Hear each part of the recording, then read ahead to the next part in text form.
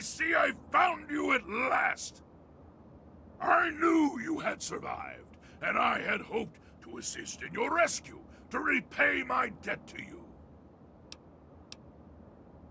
I saw your capture, and a little cleverness allowed me to follow your captors. Ugh, I only wish I could have arrived sooner to aid your escape. As I owe you my freedom, I felt it was only fair that I return the favor. After all, I know no one else in this world. My friend, I would be honored to follow a hero such as yourself. Shall we go?